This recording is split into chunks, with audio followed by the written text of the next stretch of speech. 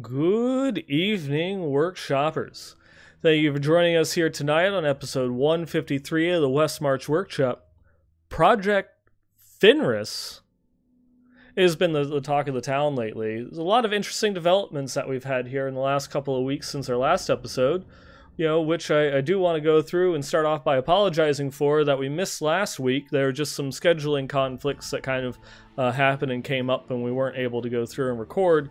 Uh, but we are here, one week delayed, I guess, which technically is getting us back on our original schedule. Um, you know, since we had uh, recorded a week early uh, for uh, Thanksgiving, and then now here we are back on what would have been the traditional week. So if you've been following along for years, we've not we've gotten back to our original cycle. Uh, but as you can go through and see here, uh, Leviathan is not with me tonight, uh, and that is actually, unfortunately, one of our first uh, topics to discuss here on the show. Uh, due to just uh, a lot of stuff going on in personal life and such, Leviathan is actually having to step away from the Westmarch workshop for a little bit, just for personal reasons. And so that's something that definitely uh, wish him the uh, the best of luck in going through and getting all that stuff uh, situated. Uh, but I would I would ask everyone to go through and uh, give uh, give Leviathan some positive energy. You know, send him send him you know some of that energy so that way he can go through and get that uh, positive motivation spirit bomb going there.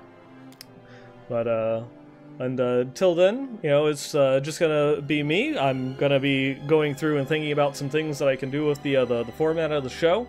Um, you know, just kind of in the the interim uh, so that way we can get things uh, going. Maybe we make some uh, some changes on how we do things.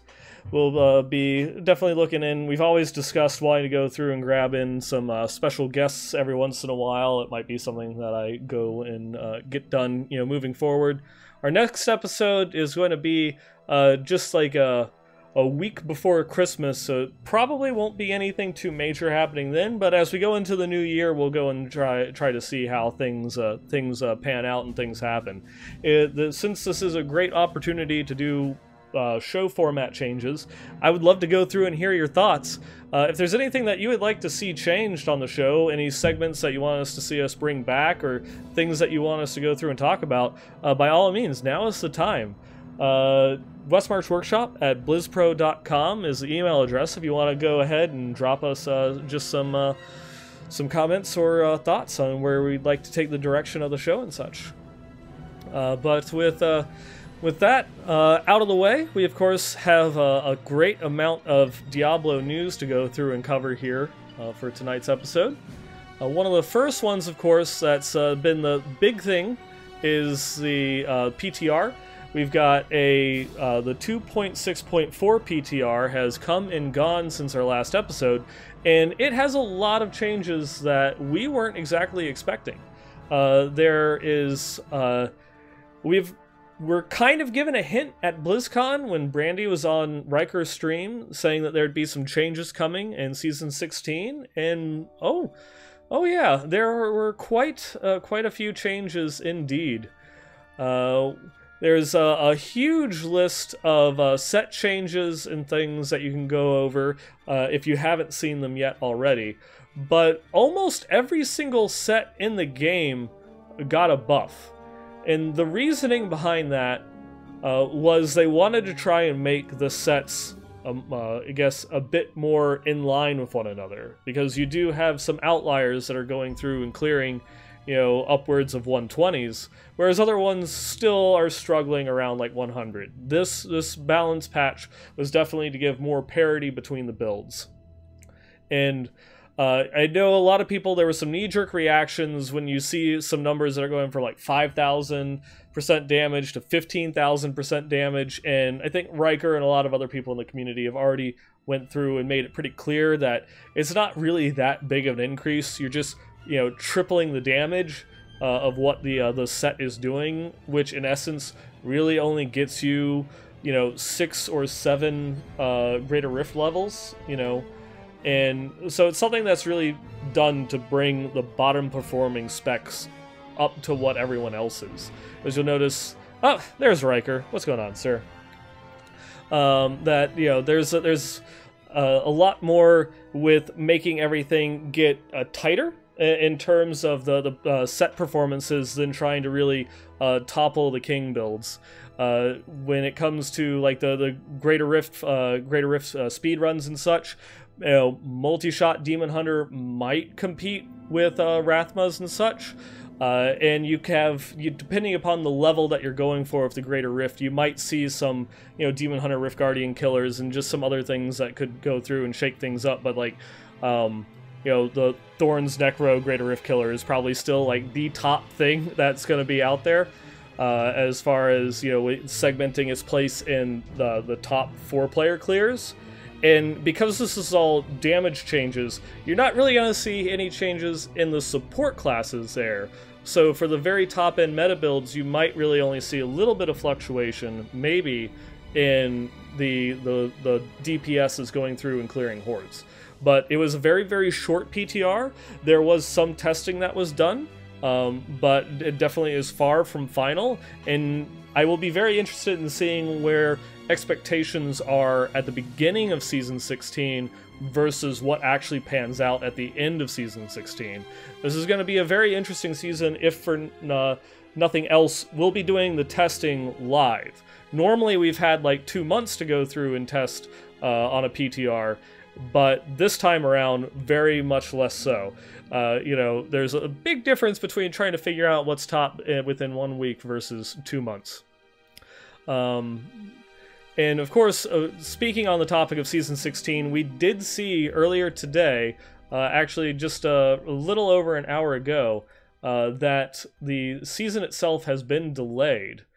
Um, and uh, this post came in from Tiovalier uh, stating, Hey everyone, in order to ensure a smooth transition between seasons and give player, uh, players extra time to enjoy the double bounty cache buff, we'll be ending Season 15 on January 6th.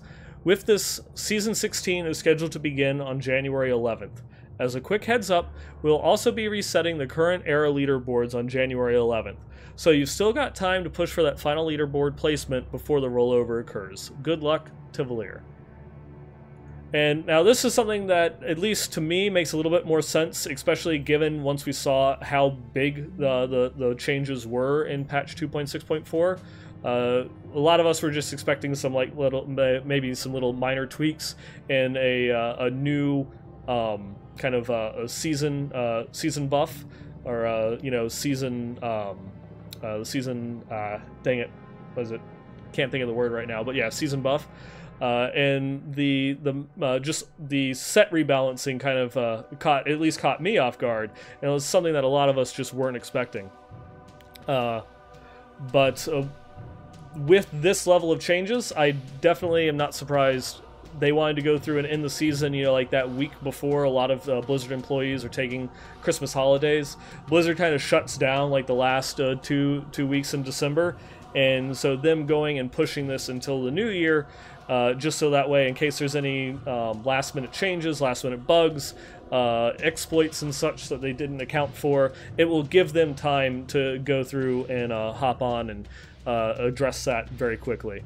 Um, and, you know, now that we're definitely on more of the topic of Season 16, uh, there is a brand new mechanic that they are going to be changing out. No longer are we getting like the double goblins or double uh, bounty mats everyone is getting a Ring of Royal Grandeur, and this is also the, the first time in forever that seasonal play will be different from non-seasonal play. That even though we had the themed seasons with the double double bounty bags, double goblins, even if you weren't playing on the season, if you were playing a non-seasonal character, you benefited from those changes too. Uh, this time around, you're only going to get that Ring of Royal Grandeur buff by playing a seasonal character. And there's some people that uh, have, uh, you know, complained about that because they they're focused mainly just on you know going through and empowering their one character and not going and rolling a new one uh, with the seasons. Uh, a lot of people are you know uh, they don't enjoy the leveling up aspect. They only want to play uh, their super powered character and getting as much as they can into that uh, into that person. So there are still some people out there that don't play seasons and they feel as if they're kind of missing out on something in this respect. But to me, it's not really anything different. Even going back to Diablo 2, there are items as well as rune words that you can only create on ladder. Uh, and uh, even though you have like the trading economy and such that you can get uh, in the beginning when a lot of those items were, went through and introduced uh, you know like patch uh, 0.9 and patch 1.10 that you know you didn't get access to those rune words or those items for like a year uh, afterwards. And this is something that you know if you if you want to experience that gameplay of having that extra ring of royal grandeur for your character then you know just roll a seasonal character it's you know this is going to be something that's uh, divergent and different from the era leader, uh, leaderboards, so it's not actually going to impact your uh, placement on those leaderboards. It's just something fun and different to try out, which is in in essence what the seasons are. It gives you an excuse to go and play a different character, try something new, uh, or if you're like me and a lot of other players, that you have a little bit more of that thrill of going and starting a brand new character, that uh, thrill of the, the gear hunt, and that uh, your actual enjoyment of the game begins to drop once everything is perfect and everything's in place, and you're just looking for that 5% stat increase.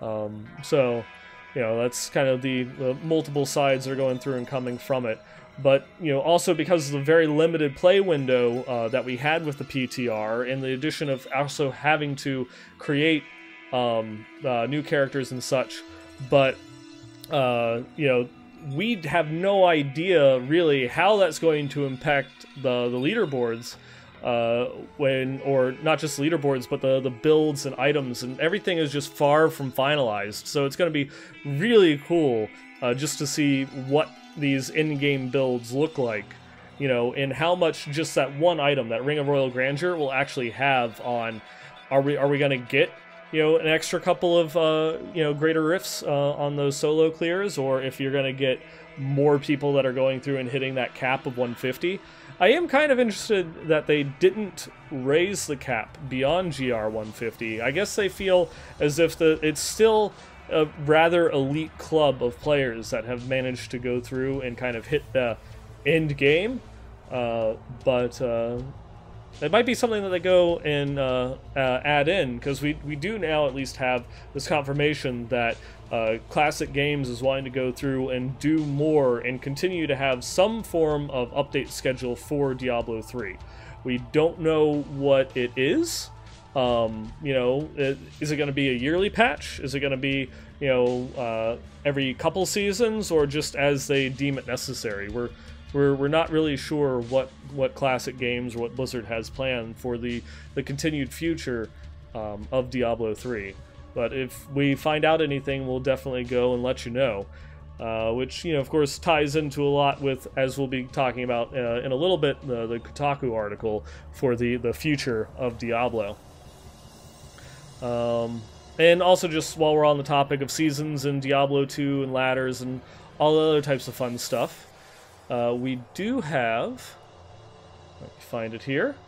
Uh, this Friday, December 7th, is actually going to be season 23 of Diablo 2. So if you're looking for something different, uh, you know, go ahead and jump on with the, the new Diablo ladder. I'm actually not sure when they changed you know the D2 from ladders to seasons as well. I guess that happened sometime in the last couple of years. It's been a while since I last played Diablo uh, or Diablo 2, I should specify. I think the last time that I played Diablo 2 was actually when we had a special um, off episode stream where Leviathan and I had a whole bunch of players uh, or a whole bunch of listeners hop onto a new Diablo 2 ladder on like a Saturday or something and play through on hardcore. Um, and it was it was an interesting experience because people would die and then they'd have to go and try and catch up and then they would like die while catching up and it just was people kept dropping and I think we had maybe only a handful, maybe even only half the party, like four players still alive, like the end of the stream. Some other people had went through and jumped back on, but um, uh, yeah, this this time around, I am going through and jumping on um, this new ladder season, uh, but I'm doing it softcore. Just my my playtime has prevented me from doing um, hardcore, just because a single a single death at the wrong time will pretty much spell the end of the season for me. But it is uh, it's gonna be weird. It's gonna be odd. It's been years since I last played D2, and just going back and looking at some of the old builds, as well as the uh, like the play strategies of going through and ooh, I can't excuse me, I, I can't wait for, you know, Tristram runs and things of that nature to go and, uh, you know, level up and go and kill Pindleskin. Fun stuff. All those memories. It's going to be a trip. I do plan on taking some notes so that way I can kind of uh, better compare uh, what it's like on a, a, a, Diablo 2 ladder reset as opposed to a season reset, and just kind of like they're such a, a very different games uh, in terms of how you go and play. I feel as if Diablo 2 starts off at a, a at a higher bar in terms of difficulty, uh, but then once you kind of reach hell, it then plateaus. Your power continues to increase, but then the difficulty never does. And so it's almost like you don't have the greater rift system. And eventually, Torment 13, you know, gets super easy, and so we don't have like bugged mobs like the you know, the Serpent Magi in the Halls of Vot, or, you know, Gloams, God, evil things uh, that actually go and make things you know, super, just like not difficult, just dumb in, in terms of like the, the glitchy uh, difficulty levels that those things have. Um, and then looking over the show notes, I almost forgot before I get too far on the Diablo 2 tangent. Uh, there are just a, a, couple of things I did need to mention about Season 16. Uh, for those that uh, might not be keeping up on where things fall within like the, the seasonal uh, ladder, or the, the seasonal spectrum? Seasonal rotation. That's a much better word. Um, with uh, season 16, uh, we're going to have the following sets are going to be available for Haedrig's Gift. So if you're planning on going through and starting up with season 16, uh, if you are going to be playing a Barbarian, you'll be getting the Immortal King's Call. Crusader is Seeker of Light. Demon Hunter is Natalia's. Monk is Uliana's. Necromancer is uh, Trag'Oul's. Uh, Witch Doctor is the Spirit of Arachyr. And Wizards is uh, Vyr's, will be the, the sets. So that's something that, you know, even if you play a demon hunter, if you're not a fan of Nats, then you, maybe you'll start as something else, like say a Seeker of Light Crusader, just to go and get you started to farm up something different. Um, and then also for your actual, um, you know, seasonal journey progression. Uh, this this year or this season's conquests are Speed Demon, which is clear Torment 10 Rift within two minutes. Uh, level 3 gems to 65. Uh, kill 350 mobs during a cursed event uh, kill all bosses within 20 minutes, and uh, finish a level 55 rift with at least six different set bonuses equipped. So this one actually is going to be relatively easy. The speed demon, um, which is the greater, which is the torment uh, 10 rift, the level 3 gems to 65, and the kill 350 mobs during a curse event, um, are all relatively simple. If uh, so, this is one of those ones where if you actually want to go for Guardian, it's going to be relatively relatively easy. The the conquests are normally that thing that holds a lot of players back. In addition to um, the the set dungeon, well, I think that the set dungeons, of course, have been ridiculously easy since it was changed many seasons ago. Uh, and then as far as your rewards go, um, this uh, this season is going to have kind of like a map of sanctuary portrait frame, uh, and then you'll also have a kind of uh, monarch butterfly wings uh, for your your two seasonal rewards as far as cosmetics go. So it'll be uh, interesting to go through and take a look at. I, am going to be interested. In, you know, I'm thankful that this is one of those ones where it's a relatively easy uh, path to Guardian, just because it's like it's a map of Sanctuary, so it's kind of like it's like a lore thing, and so I feel as if I should have that, you know, at its uh, at its highest uh, its highest form, like the little lava portrait. So we'll uh, we'll go through and check that out. As Dread is going and pointing out in chat, this is actually the last known pre-made portrait. And now I haven't really seen too many people that have dug in and have done um, you know the uh, the whole data mining within the patch itself uh, from the PTR to go and see if there's anything new that was added. Uh, but that will be interesting to go and see. Are they going to start recycling season rewards going into season 17? Or, you know, are we at least guaranteed a minor patch, if for nothing else, uh, for the next season just to give us new seasonal rewards and whatever they might expect. A lot of people were thinking for season 16 that we would see a um, a Legacy of Nightmares uh, buff uh, style season uh, mechanic, uh, just because it was something that some developers had talked about, you know, while at BlizzCon, and where Legacy of Nightmare did get a buff uh, so it's up going up from 100% uh, damage per ancient item to 500% damage per ancient item. Still not enough to really compete with most sets uh, for a lot of classes. It'll be interesting that, you know, where that kind of stands, maybe as a Torment 13 speed run or just something that you want to do for some mid-level greater rifts just to change things up. Uh, it'll be it'll be uh, cool to go through and try out. Uh, to, who knows? Maybe we'll get season 17 will be only Legacy of Nightmares drops, and that's your only set that you get. or I'm still rooting for the Nothing But Blackthorn season and seeing if people can go through and like push Greater Rift 90. Um, going on, uh, before we jump into the Kotaku article, the uh, the last thing that we have to talk about is we did finally get our um, response from Blizzard. You know, a couple weeks ago, we had read uh, that uh, Blizzard was, you know, hearing from you, formulating feedback to go and give a, a response, uh, you know, to the community itself. And uh, this is uh, what Nevalistis and the Diablo teams went and had to say. We continue to read feedback, and our internal discussions are ongoing. We have many plans for Diablo across multiple projects, which we'll be revealing over the course of the coming year. We are eager to share more about all of our projects, but some will have to wait as we prefer to show you rather than tell you about them. It's going to take some time as we strive to meet uh, your expectations, but now, more than ever, we are committed to delivering Diablo experiences the community can be proud of. Signed, the Diablo teams.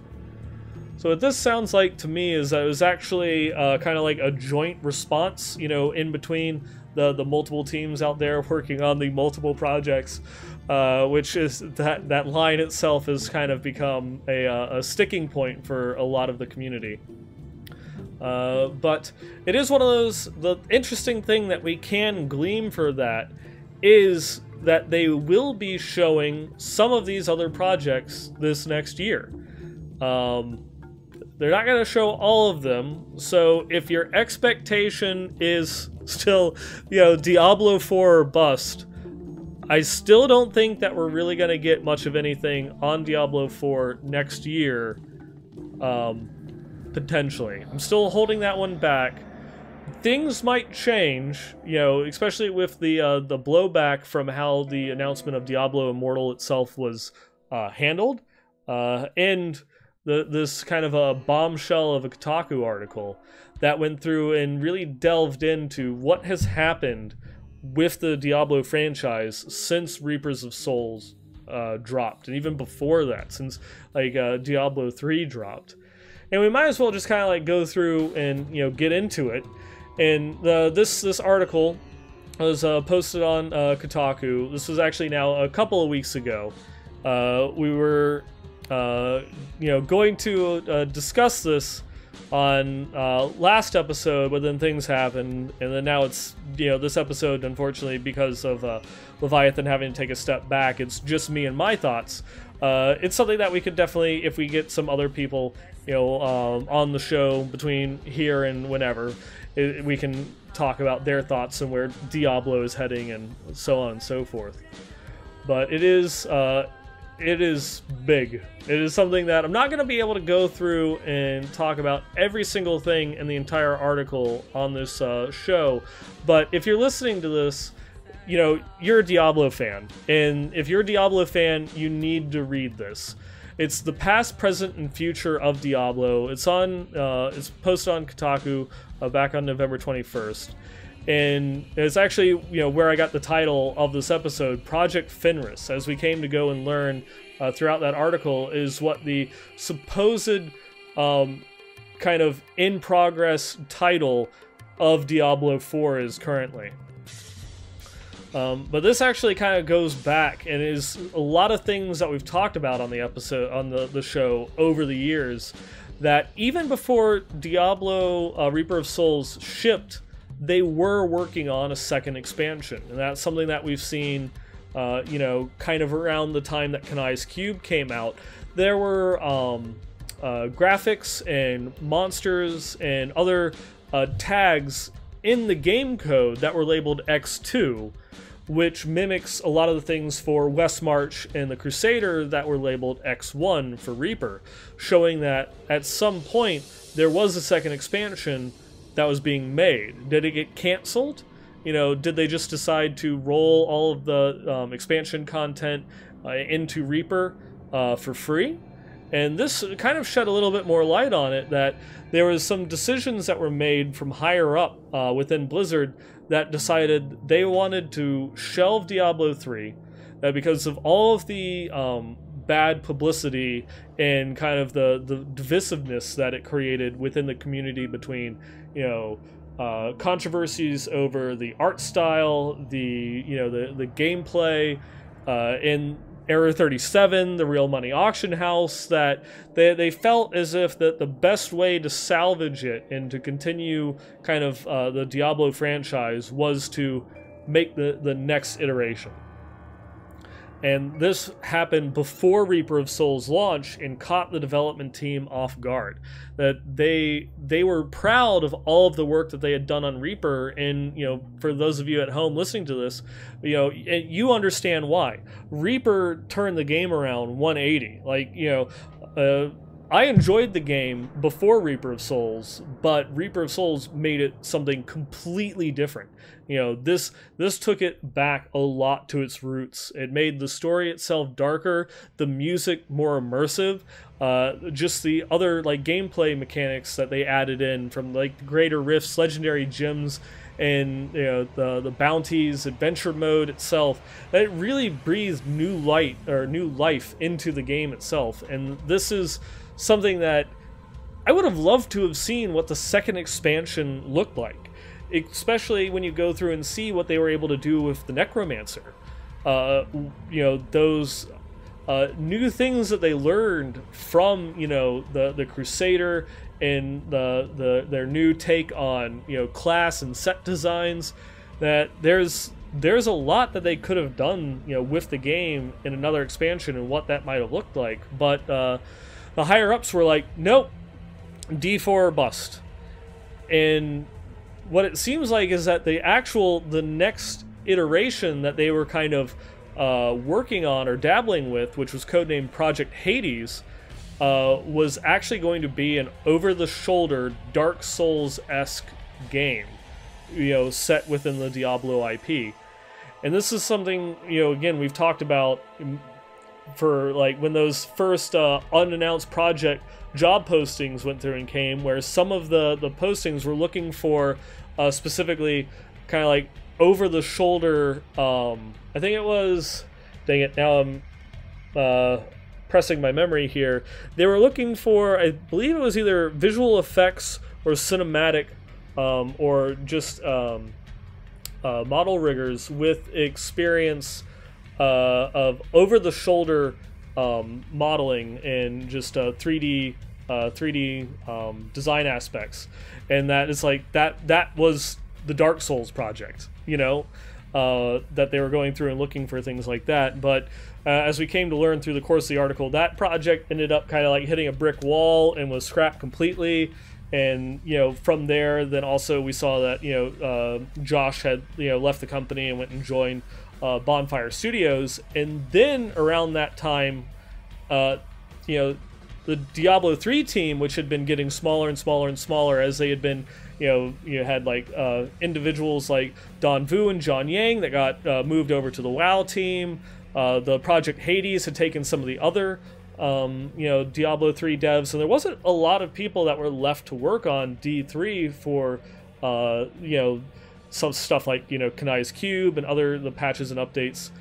Uh, once Project Hades was scrapped, Team Three saw that as well. We can go and show you know the higher ups what we can do, and that became the Necromancer. That became you know Shrouded Moors. You know the, the and that was a, kind of like one of those like the last big hurrah for Diablo Three. What we can go and see that even though and some of the the earnings from last year have showed that they um, that the the necromancer pack actually did have a positive impact on some of those earnings because in one of I think it was like the quarter four for the 2016 earning report so like the quarter one of 2017 um, uh, had stated or no sorry it's 2000 the quarter four of 2017 I think it was that stated that they had higher than expected earnings because of the Necromancer pack, and you know that you know showed that at least that's the one little bit of evidence that we had that the Necromancer in and of itself was successful, but it seems it still was just too much pressure from higher up that they they wanted uh, D3 done, and that uh, you know it seems that it now more or less is confirmed, you know, without anyone actually officially going through and raising up a little a banner saying that D3 is on Classic Games, D3 is on Classic Games. Uh, and so it does at least give us the opportunity of having some updates like what they did with Season 16 or the Switch port and such. These are projects that the Classic Games feels that they're capable of going and tackling, uh, but we don't know what the future looks like for D3.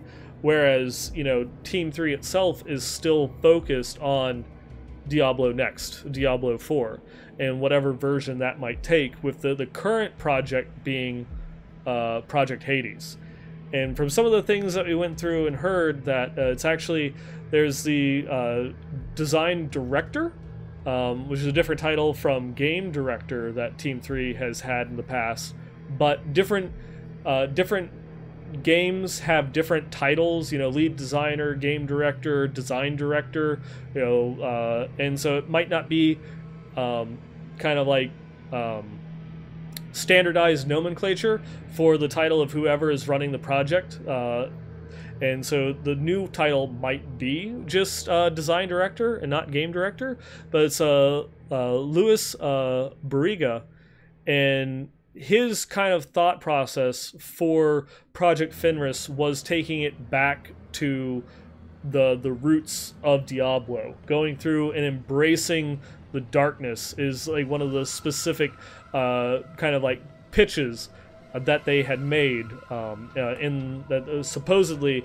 they had made for Project Fenris. Um, and that they have a, a, very, very strong vision about what this game should be, and that there's a lot of people within uh, Blizzard that are excited for what this uh, is going to be.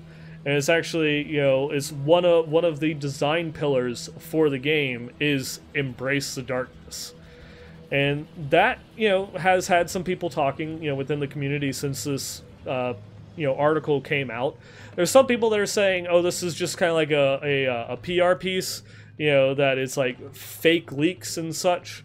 Um, I, I feel as if this was an actual kind of like a, a PR, kind of like a just like a, a, PR piece to go through and appease the fans. We would have gotten more of a response from Blizzard than just the recommitment to the multiple projects on multiple teams. That we, we would actually that they would have at least you know in direct nomenclature, direct words, say we're working on a PC title. You know, um, that if this was actually something that Blizzard had planned to go through and release with Kotaku, uh, that it definitely.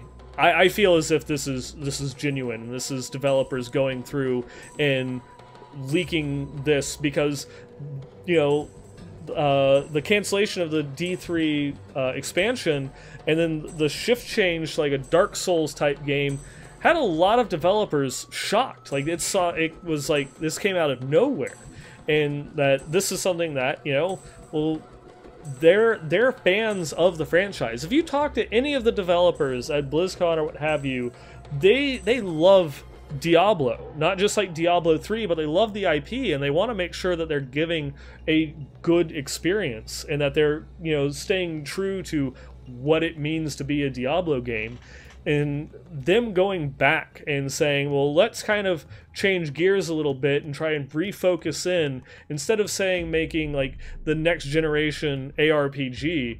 You know, if one of those design pillars is, you know, like embracing the darkness, refocusing on what makes a Diablo game Diablo, you know, that I think most fans would be okay with if it doesn't like try to completely uh, push the envelope um, and you know, as long as they deliver on what it means to be a true Diablo title. And that's why a lot of people have problems with, say, Immortal, is because they don't believe that a mobile game can deliver a Diablo experience.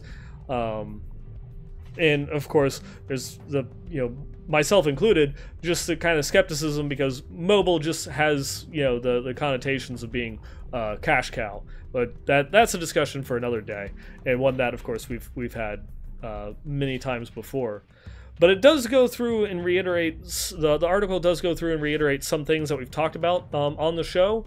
And something that I talked about briefly in one of my articles um, from before BlizzCon on Diablo fans, that I feel as if the post Overwatch Blizzard is just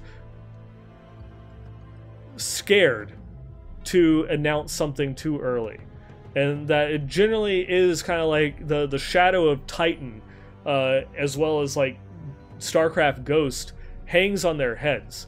You know, just like the cancellation of Titan was something that even forced um, Metzen that it put him in such like a dark place because they had so much hope and expectation built into this project and it was going through and it had been leaked and even though they uh, Blizzard officially never really acknowledged it or said anything about what it was going to be that there was this expectation of well this is going to be this is going to surpass wow. This is like their next generation mmo and oh did you hear this rumor that you're going to be able to like say like be a shopkeeper during the day and a superhero at night and they're going to push everything to the next level and then it it didn't work out and they had to cancel the project. And that cancellation was so soul crushing for Metzen. You know, it was one of the, the, reasons that he had decided to step away from the company. Um, that I feel as if some of those things are just they are scared to kind of they're not scared to go out and take chances and do things differently and try uh, like big experimentations they're they're scared of letting those things out of Pandora's box. They they don't want to set expectations, um, you know, out there within the community that they're working on these projects, and that's something.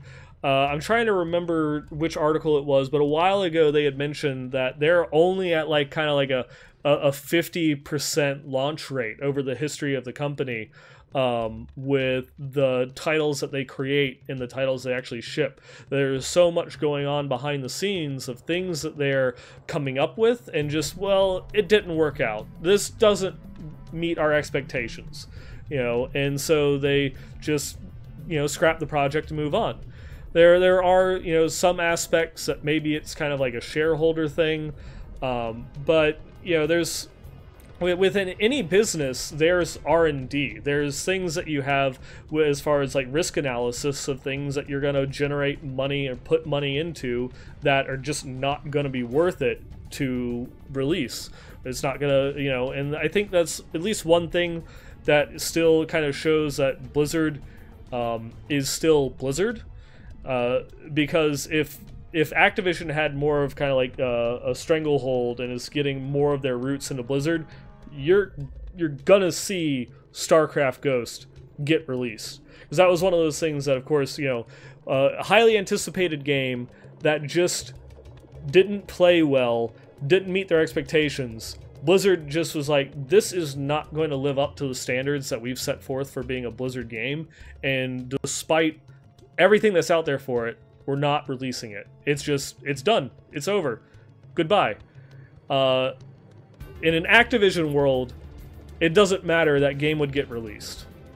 And that would be one of those things to me to like go through and continue to keep an eye on. And I think, you know, Immortal might be one of those first titles to actually go and take that, especially because this is, you know, a, a joint venture with another developer.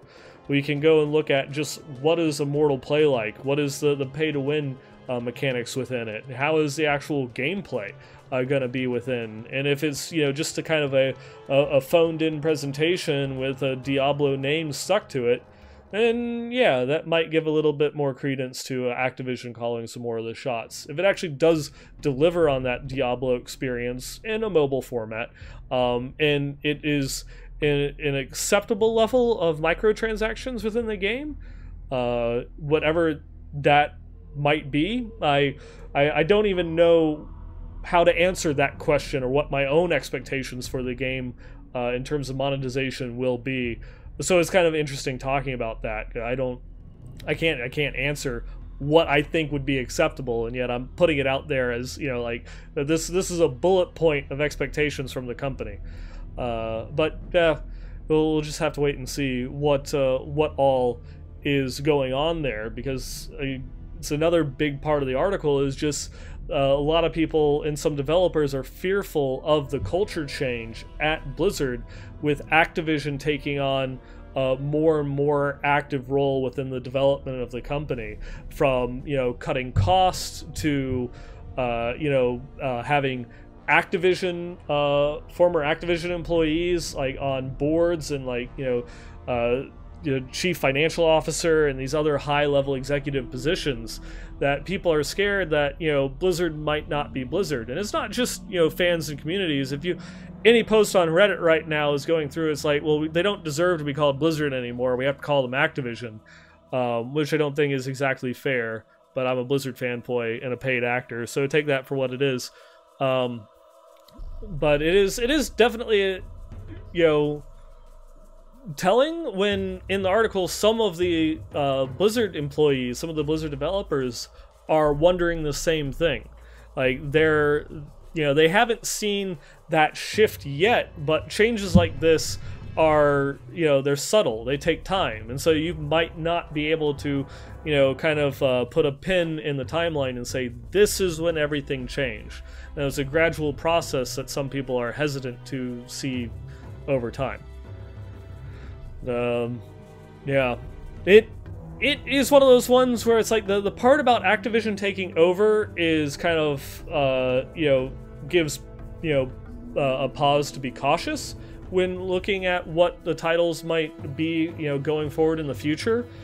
But they're kind of the the points that talks about Fenris and it's still apparently very early in development and that they did want to show Fenris at BlizzCon 2018 it was something that had been in talks like back in January, but they had never gotten it to the point where it was showable, uh, let alone playable.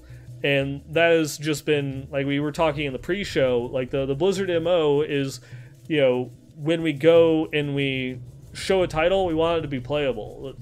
I believe WoW Classic is like the only thing in recent memory that was not playable uh, when they announced it I think then the next title uh, before that was uh, uh, Diablo 3 or StarCraft 2, whichever one of the ones was you know announced first uh, or announced second. Uh, and so that's just one of those ones where it's like is uh, it, it is I kind of like I, I think the community would be accepting if you just said you were working on it, especially in this in this post immortal world. Uh, but uh, Blizzard does things as Blizzard does things, and they, they don't really seem to be wanting to change at all uh, in how they how they do things. They they just talked about. Uh, I was really hopeful that when this article went through and came to light shortly after the um, the the post you know from Nevalistis saying that you know we hear you and we're collecting feedback and we're formulating a response that this might push Blizzard's hand um, and saying and making them acknowledge maybe a little bit more now that that information's out there. Uh, but it seems like not even that is enough to kind of like get Blizzard to kind of acknowledge, um, you know, that they're they're working on like a, a PC title or something else at least we will get to hear more about some of these things. What's uh, also interesting that they don't talk about within the article is what else is being developed besides Project Fenris or Immortal. The only other thing that mentioned was Hades, but that was scrapped um, and is no longer actively being um, uh, developed. You know, what are what are these other projects? Because they're actual projects that are kind of like being developed from within Blizzard, I don't think that that's going to count like the, the rumored Netflix um, series or the the comic that got delayed. Uh, so I don't know. I don't know. Uh, it'll be it'll be interesting to see, especially given that the fact that they did say that they'll be showing off at least uh, multiple of the multiple projects. It'll be um, that'll be cool, and I really hope that we don't have to wait all the way until BlizzCon to see what some of these projects look like. Uh, maybe we'll have uh, some more, you know, if they do count, you know, something like the, uh, the, the comic or Netflix or some of these projects that they are developing within BlizzCon. That'll probably be like a, a PAX or a San Diego Comic Con announcement, things like that. Um, but uh, I, I, at least want to hold out hope that the multiple projects does mean multiple games. You know, with uh, Diablo 4 and Immortal being at least a couple of them. Uh, who knows? Maybe future content for Diablo 3 might be something else. Um, we'll, we'll have to wait and see. One, one of those other multiple projects could have been the Book of Adria, which I believe just released yesterday. Uh, hopefully you've gotten your copy. Uh, and if you want to check out, you know, if you're on the fence about it, you can always go through and check out my review over on Diablo fans. I give it a five out of five Nephilim. It is uh, it is definitely awesome. Rhykker going through and saying Diablo PvP game. Uh, yeah, well, just remember, PvP for Diablo 3 is confirmed. Jay Wilson said it, that PvP is coming in patch 1.10. And no one has ever gone through and retracted that statement, so Blizzard, I'm still holding you to it. PvP in patch 1.10. It's happening. It's coming. It's still there. Just wait for it. Rhykker, if you if you uh you probably weren't aware that is a ongoing joke on the show. PvP patch 1.10. I actually got Wyatt with that one at uh, BlizzCon. And, uh, you know, it's like, I can't wait for you guys to go through and announce PvP in patch 1.10. And he just was kind of like, what? Like, it was, um, it was kind of funny. I thought it was funny. I laugh at my own jokes. Um, but yeah, that's uh, one of those one of those big things that we at least know. You know, Diablo 4 has already had at least on its second iteration, uh, and that they are at least kind of like scrapping that third-person perspective. They're going back to the ice uh, the isometric form, which is interesting. Would it would a Diablo game still be a Diablo game if it wasn't isometric? Could it go to a different camera angle and still be Diablo? You know, it is um you know, were did any of you ever play uh, Hellgate London? You know, that one had uh, a lot of difficulties. It had some of its own issues. I know. I think that one's coming back to the Steam store for uh, uh, and that it's a very different game from when it originally launched. It's actually been like in active development for many, many years after the project was canceled, but it was entirely a, a Korean game. They didn't. They had like one. They ported over some of the content to NA. What six years ago? Like shortly before or shortly after Diablo two came out, and uh, that would that'd be interesting to maybe go through and take a look at. Um, but yeah, it's uh it's kind of cool seeing the article hit on all those things that we had talked about for many years the the canceled expansion the over the shoulder perspective uh, we, we, we, we used to talk about the Diablo mobile game being just a meme or a joke, and then it actually ended up ended up becoming true. Well, that think about how many posts you've seen like over the last couple of years about people going and talking about a Diablo Dark Souls style game, or if they would play it, or what do you think that it would take its shape or form of? It's like I have to stop and think. Did they know? Were, the, were these were these you know um, devs hiding behind secrecy that were going and kind of throwing it out there to gauge response from the community? Who knows? Who knows? I definitely have to pay more attention to the meme responses because it seems that some of those things ended up being true. Um, you know, and then we have the the current uh, Project Fenris, which we at least have confirmed that's been in development since uh, I believe the article said 2016 that uh, the Project Hades was canceled. Um, you know, basically a couple months before they had announced the Necromancer, because Hades had been canceled, and they pitched the idea and immediately started on the Necromancer. Um, and then they had done development of the Necromancer while a smaller team had started working on what uh, Diablo 4 would take its shape as with Project Fenris. And I imagine after the Necromancer um, content was done and finished, uh, they then kind of split the rest of the team from there. Some going to Immortal, I imagine maybe some going to some of these unannounced projects, maybe some going to um, Allen Adham's uh, incubation team, and you know, uh, obviously some going you know to help with the uh, Immortal project and Fenris. So it's uh, it's interesting. It's interesting.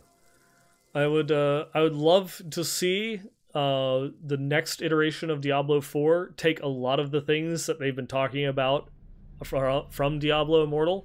Um, we've said it before on the show, and I know almost every single like uh, community member that you've ever seen. I know Rhykker is one that uh, I think you when I when I popped in and was watching your stream a little bit earlier, you had actually mentioned it. Um, that you see all of these features in Diablo Immortal, and it's everything that you've ever wanted in Diablo 3. And it's just like, God, well, at least maybe there's hope that they'll put it in Diablo 4 at least? Maybe? Maybe? Well, we'll see. Uh, but with that, uh, pretty much just going to go and uh, close out the episode for us for tonight. Um, I do have a little bit of a community section to go and read through. Um, so we'll go and uh, jump into that one here. Fortunately, I have no way to go and segue um, with uh, with me here. We'll have to work on that. I'll get a recording of Leviathan just saying segue, so that way I can go and play that. Um, so th this first one here, this one comes in from Aaron. Uh, this is I had an idea for season 16 that may take the whole solo self-found challenge thing to a new level. Basically, it's playing D3 like D2 for a season with a playoff at the end. The season must be played entirely in story mode, no adventure mode whatsoever until the playoffs start. You can have separate brackets for hardcore and softcore competitors. You cannot equip any set items except Legacy of Nightmares. Uh, blues, yellows, and legendaries only. Big honor system on this one, but I think it's crucial to the theme. Bonus points for not even using Legacy of Nightmares? Uh, as this is part of Solo Self-Found, you obviously can't group and the other uh, SSF rules will apply. Uh, then uh, that will last until there's one month left in the season, and then there's a playoff that will ensue with the following changes. Adventure mode is now in play. No sets. Uh, there's still no sets allowed, but greater rifts and normal rifts uh, are in play as well as the bounties. Each competitor in each bracket will have the last month of the season to accumulate legendary gems levels and push as high up on the GR as they can with their tune, and player with the highest GR clear at the end of the season declare the winner. You know, obviously just for bragging rights and, you know, uh, what have you. Uh, let me know uh, what you guys think. I thought this would be a good way to show Blizzard the kind of seasonal theme variants that you could roll out, and if there would be enough people uh, that would make its way officially into D3 or the next PC release. I also kind of want to illustrate to all the D2 originalists uh, how getting what they wanted for D3 would actually look. That would be a very interesting thing because there's some stuff um, that uh, that you could do or how the game changes if you take out adventure mode. Because in that aspect, there's no Kanai's Cube. One, you don't have the materials that you have to run bounties for, and two, you actually physically cannot get Kanai's Cube in story mode. You have to be in adventure mode to get it. So you're playing through two months with no access to the cube. No, not only do you, even if you didn't have like the Legacy of Nightmares uh, restriction, and you could do sets because you could still, you know, go up in the torment levels to have sets drop. Um, that you can't, you can't reforge items, you can't re-roll items Uh, you still would be able to have the the mystic to enchant uh, the the properties and such, but yeah, you're taking out a huge, huge aspect of the game. That's basically, uh, that's you know early, you know early Reaper. That would be setting the the game back to. It's kind of like a cross between the end of D uh, D3 and early Reaper in terms of playstyle. That would be an interesting take. This is something I think uh, I remember. Um, this was an offline discussion, not on the show, but like uh, Dread and Leviathan having a discussion where we we've always joked about having like a, a no set. Set, uh, no set season where none of the sets drop. And it would be interesting from a gameplay side, but then from the mentality of a player, you're taking away something. And so it's not actually adding in content, you're changing content by removing stuff. Whereas like with the the change that we have with season 16 of giving you a free a Ring of Royal Grandeur is kind of slightly changing gameplay um, by giving you something as opposed to taking it away. So, you know, take that take that for what it is. Uh, but it was a, it was a kind of a discussion that I didn't really contribute anything to, but I did find interesting that it is uh, something that one of the very first things that we think about about adding something, adding value to the game, is physically taking something away from it. Uh, this uh, next email comes in from Johan. Uh, I saw an interesting thread on Reddit about if Blizzard can keep up with companies who are all about one franchise. Let's say GGG has full focus on Path of Exile and is pumping out way more content than Blizzard can. Could Blizzard make a new Diablo who will still stand out with new systems? I think GGG can adapt way more quickly and can respond to anything Blizzard will throw at us uh, when the new Diablo game is announced. I think that's also why there's so much secrecy about any new Diablo game. What's your opinion on the matter? Um, this is one of those ones where it's kind of like uh, if you talk or listen to a lot of the things that some of the former uh, Blizzard North developers, particularly like David Brevik, has said about what was it like working at Blizzard North um, in the early days versus like the later days, and later going on to like flagship studios or like Bill Roper went to Cryptic and um, things like that. And they said that there's a definite like workflow change that happens when you go from a small team to a bigger team. Um, that there's a small team, you usually wear a lot of hats, and so like you're the person that designs like the treasure chest as well as codes the interaction for the treasure chest and then codes the loot table for the treasure chest. So it's it's something that you can work on much faster because you're doing all of those things as opposed to well i'm just creating the treasure chest then i send it someone else that's going to then code the interaction but then there's another developer that's working on loot tables and randomization and drops and all that other stuff. And that it's kind of like having the larger team you compartmentalize that work that does create uh, you know, kind of a delay because there is a workflow, and if you have iterations, it's going back and forth between multiple developers. Um, that you can respond quicker with a smaller team than you can with, say, a bigger team. And we all, of course, just know that Blizzard's pace is a you know what you would expect from something with the name of Blizzard. It's you know glacially slow.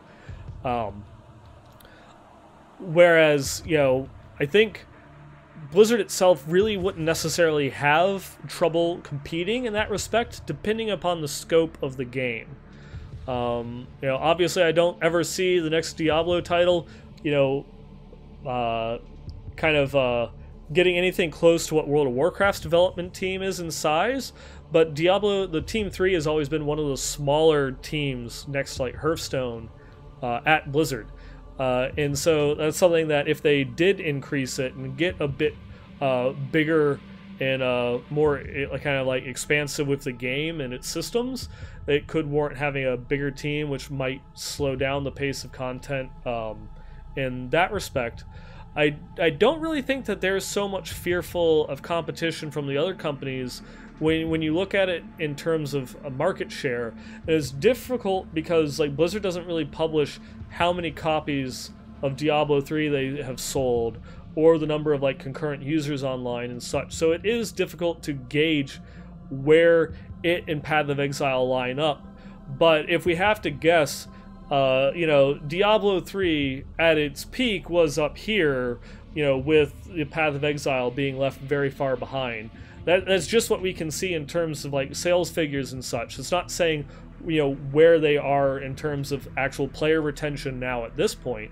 Um, I, I would probably say, you know, Path of Exile at least would be keeping pace um, with uh, with uh, D3, and that's something that is like because of GGG's commitment to continuing to create content um, and deliver on that experience. And this is something Leviathan and I have talked about in the past is could the next Diablo title look like that? Could they say drop the 4 just say Diablo or you know like what I've been saying uh, for a while Diablo next um, and just have it a living breathing game that they continue to update not not saying that it's going to be an MMO, but like World of Warcraft, that it is a game that they continue to add content for in expansions or DLC or patches or what have you, uh, you know, and that this is going to be the title for the next 10, 15 years or what have you, and that that is it, that they're not going to be working on a Diablo 5, that they don't intend for there to be a Diablo 5. Uh, because that is that is like the, the big difference between you know Blizzard and their top competitors in the ARPG market is you know you look at Path of Exile and Grim Dawn and such, and they're focused only on that one piece of content, whereas Blizzard isn't focused on Diablo 3, um, you know, which is their current entry that's out there. Uh, classic games will probably continuing to do like you know like the season themes and such, but Blizzard's focus is on Diablo 4 and Diablo Immortal and the multiple project and a Netflix series and other things. But there is at least you know a dedicated team there that's working on Diablo 4. Um, and that that is what Blizzard's focus is and I guess that gives a bit of um, uh, what's the word that I'm looking for? Uh, a mis- misconception between kind of like what what they're going to go through and compete in terms of like content and quality because look at i guess a better way of looking at it is look at the like the path of exile leagues like uh and the content that they've been doing you know over the last couple of years compared to the content that blizzard was putting out you know for d3 and reaper of souls you know uh the original D3 was getting content patches all the time. They realized that they had uh, made a lot of mistakes and that they were very quick in trying to go through and address them. Uh, but some of those core mechanical things they couldn't change until they did the expansion, so they held off on some of that stuff to go through and put into Reaper. But then once Reaper itself launched, I mean, you're going through and you're getting, you know, greater rifts, legendary gems, Kanai's Cube, that they're going and hitting out a lot of content, a lot of changes, a lot of uh, interesting things that, you know, uh, that diversified uh, gameplay, at least at the time, until you know you're comparing Torment 6 to Greater Rift 110. Um, that that is kind of the the level of commitment in content and such that you can you, that you want to compare with what GGG is doing with Path of Exile now. That that is that is kind of like the the commitment in terms of uh, quality and content between the developers that you want to actually look at and say that well, this is this is how they would actually kind of compete once D4 comes out. Um, and but for that even actually thinking about it now, that's not even that's not even completely true because by the time that they had come out with Reaper and they were doing that content for it, they had already been told that's it, cut Diablo 3. There's no second expansion. You guys are working on Hades now. Um, so yeah, who knows? If anything, that just gives us maybe a little bit more optimism towards what they could do with uh, Diablo next. We'll uh, we'll see. We will we'll definitely see. And this next and final email, this one comes in from Lion Sword. You know, as he went through and said, every time he sends into an email into the show, we have to end up canceling an episode um, because he had sent this one in literally the Wednesday before we were supposed to record last week. Um, Interesting conversation in Leviathan's Discord this afternoon. One of the community members was musing about continuing to play Diablo 3 or not, citing the inability for some lesser known or self created builds to compete with the top meta, solo, or group builds we see on the leaderboards. His specific example was playing a Rathma Necro, which he did not necessarily enjoy, at Greater Rift 60 and progressing fine, but then switching to a Pestilence build of his own making and struggling at the same Greater Rift level. Uh, this wasn't a great feeling from him, which I understand. It's an interesting topic to me, specifically because I feel similar way about Uliana's or in Sunwuko for the monk. I prefer the playstyle of Uliana, and especially the aesthetics of Uliana. Exploding Palm is my favorite ability in any game that I've ever played. Uh, that feeling I get when there are probably 50 or 60 mobs on screen, I get one of them to die with Exploding Palm on them, and it spreads to everything thanks to Gungdo Gear. And it starts a, a slow and spectacular chain reaction of demonic demise. It is so fulfilling, so gratifying but it's slower and weaker right now than Sunwuko's blow up the screen with fire build. So I play a Wuko because it's better. However, that doesn't necessarily stop me from playing Uliana's. I uh, a few play season, a few play sessions back, I put together Uliana's group, Exploding uh, Palm Monk, with Knight and Shepherd. It is admittedly completely useless on its own and provides no benefit against a Rift Guardian, but when Paired with a legit single target damage uh, dealer, it can clear density like crazy. Is that better than just playing Wuko? From efficiency standpoint, probably not, but it's still fun as hell. Diablo 3, uh, like really any other game in existence today, has a meta. Uh, builds that are just better than the others because people do math and find out what is best, and then everybody does that. But if that doesn't line up with your favorite build, what do you do? Do you play your favorite build anyway, knowing that it's not as powerful and you aren't being the most efficient? Do you play the meta build because it's the most efficient, even if you may or may not enjoy that playstyle? How do you uh, balance playing what you enjoy most versus playing what is most efficient if they're not the same? I'll hang up and listen. And that is a very interesting point and something that I'm sure that I'm probably going to be talking a little about a little bit more following the new Diablo 2 ladder. And I think a lot of that comes down to the the endless dungeon of the Greater Rift system is one of the problems with class and set balance within Diablo. A lot of people will say that it is the focus of set of our individual player power on items and sets more so than skills and the, the player selection, and that is definitely uh, a point in it. But in Diablo 2, like, you know, you can clear hell as a bear sorc. It's it's expensive as hell to go through and get double dream, but you can do it. You know, is it efficient? No. Are there better ways to doing it? No.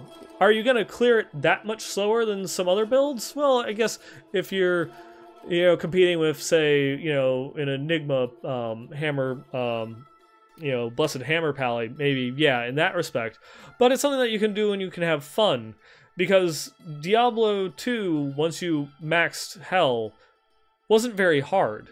It was something that you actually the, the one of the enjoyments of Diablo 2 was what is the stupidest build I can beat Baal with? You know, what is what is the dumbest thing that I can actually clear through all of hell um with that build? And I think that that's one of those things that is just the design um uh like kind of like the design goals in Diablo 3 changed that. And when they made an infinitely scaling difficulty system, uh, that reinforces a meta.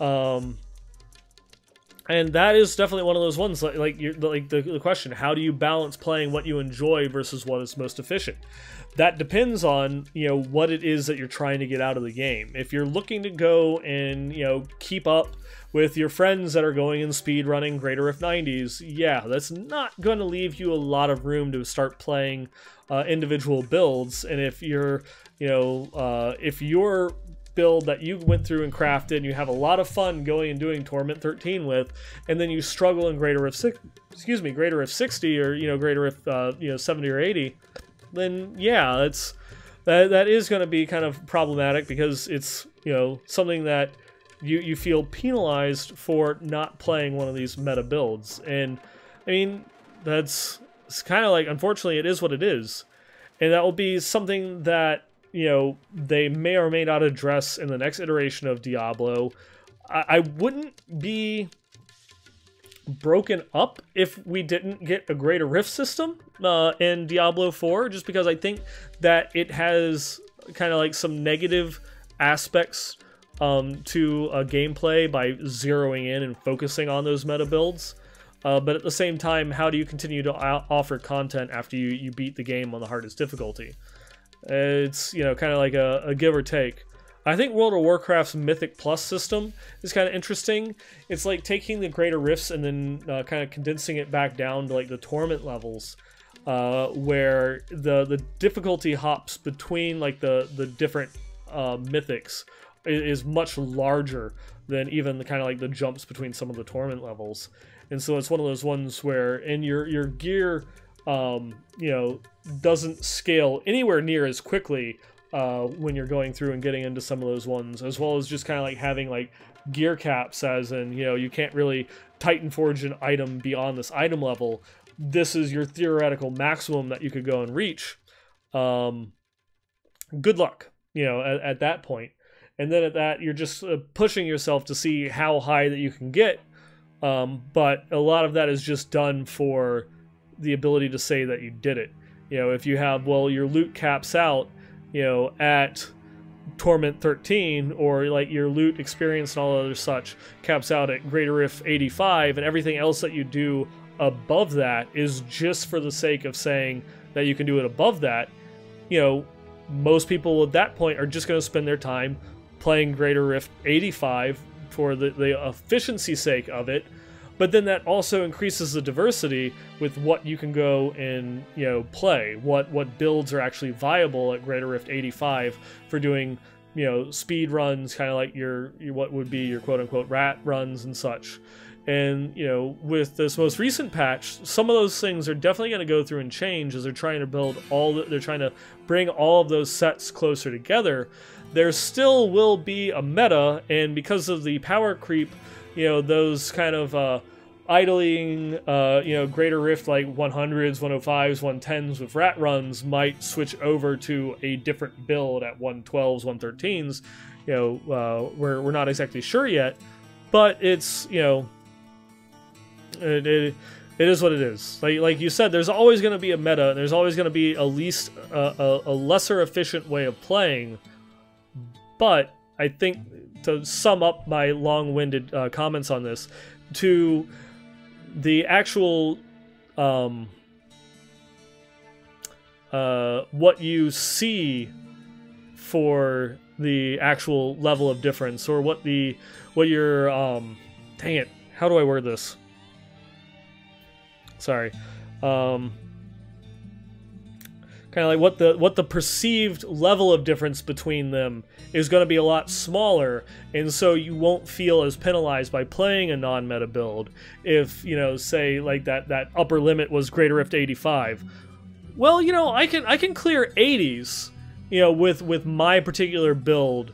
So it's not that's not that bad as opposed to saying well i can clear an 80 with this build whereas this other one can go and clear a 110 that that looks a lot you know rougher when you have a, a much greater uh, scale of difficulty with that ever increasing um, you know greater rift system that makes those differences look uh, you know from what they are.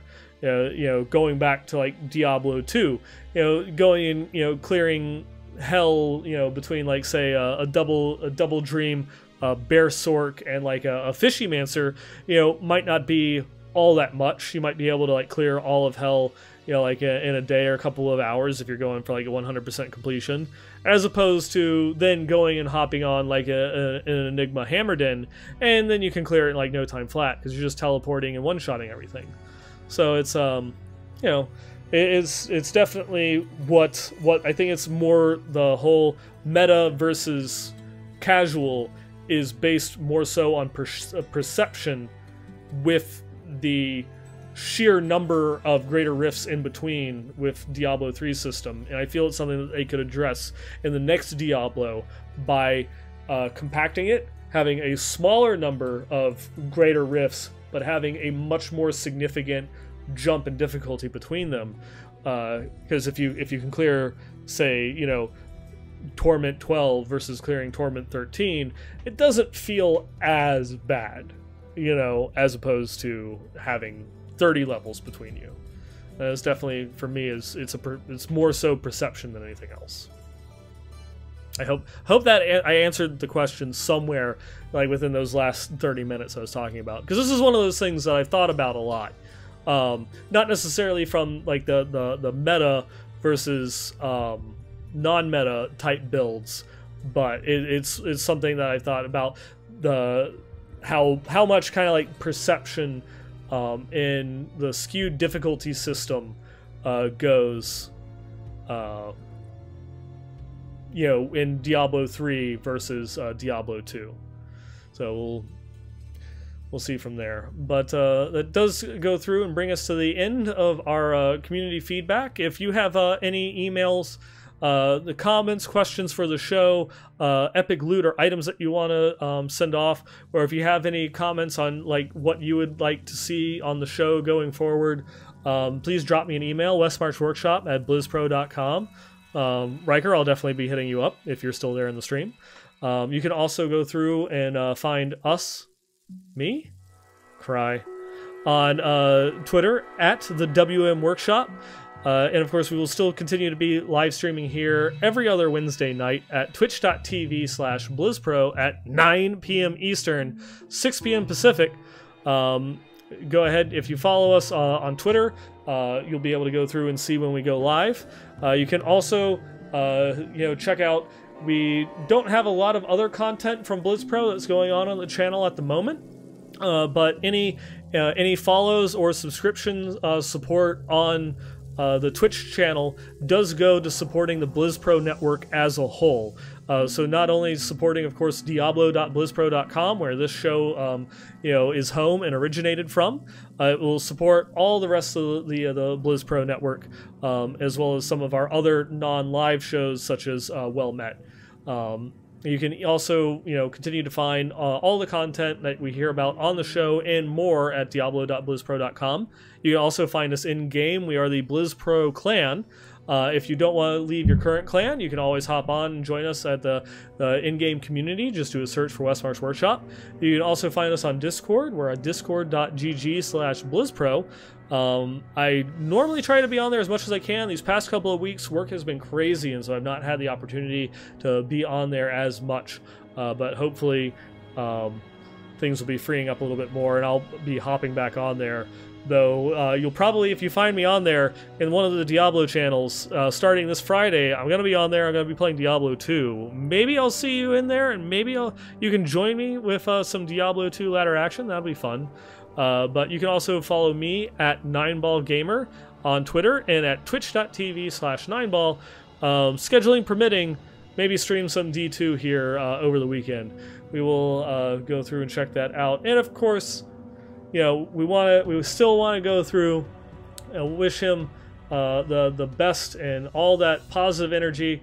You can still go through and follow Leviathan at Leviathan D3 and at twitch.tv slash leviathan111 as he goes through and gets you know real life and all that other stuff uh, sorted out so go through and you know send him send him some love send him some uh, positive wishes and such uh, while we wait for his inevitable return back here at the show but thank you all for joining us our tonight's episode of the Westmarch Workshop, and we will look forward to seeing you guys in a couple weeks.